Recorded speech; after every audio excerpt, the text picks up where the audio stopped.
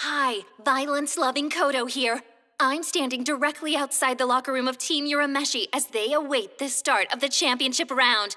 Let's take an inside look. Don't look too shocked, you masters of mayhem. It's your live ambush interview.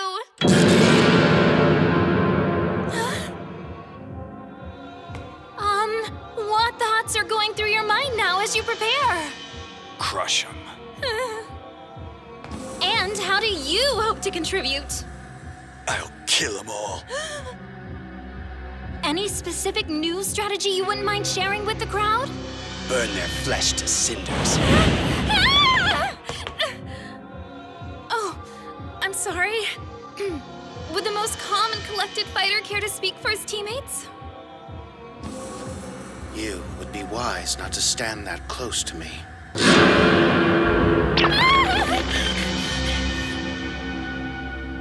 Think that's enough behind-the-scenes coverage for now.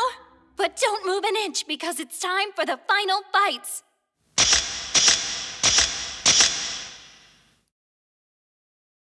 Well, that was some great work.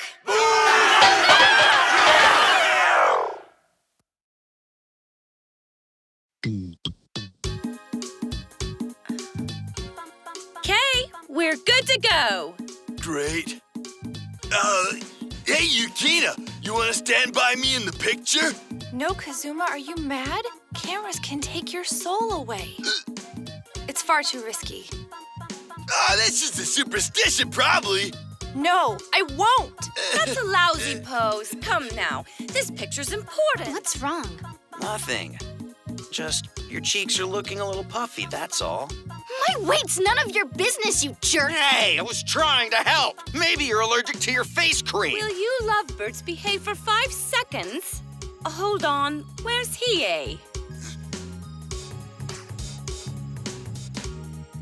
This is absurd. Come on! Get off me, you fools! Don't be shy. All right, here I come. Say bingo!